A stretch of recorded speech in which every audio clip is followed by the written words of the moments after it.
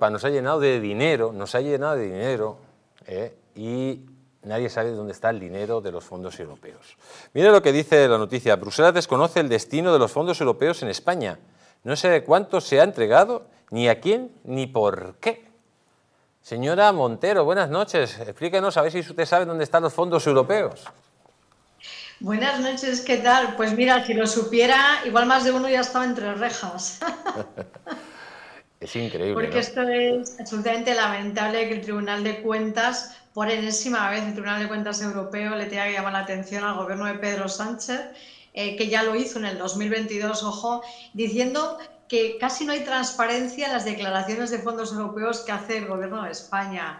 Fijaos que dicen que no se acreditan bien el destino de los fondos, dónde están, para qué se han empleado, a quién han llegado, qué se han hecho con ellos. Es decir, si preguntamos por las mascarillas, pues nos contestamos a nosotros mismos, ¿no? Es absolutamente lamentable la imagen que tiene España en este momento ante la fiscalización lógica que tiene que hacer Europa de sus propios fondos. Eh, porque estamos hablando de qué cantidad le ha dado Europa a España y qué cantidad ha llegado verdaderamente a la gente. Porque sabemos que, al, marido de Carviño sí que le ha llegado muchísimo dinero, a pesar de que no podía licitar por estos fondos, porque tenía deudas abiertas con Hacienda y con la Seguridad Social.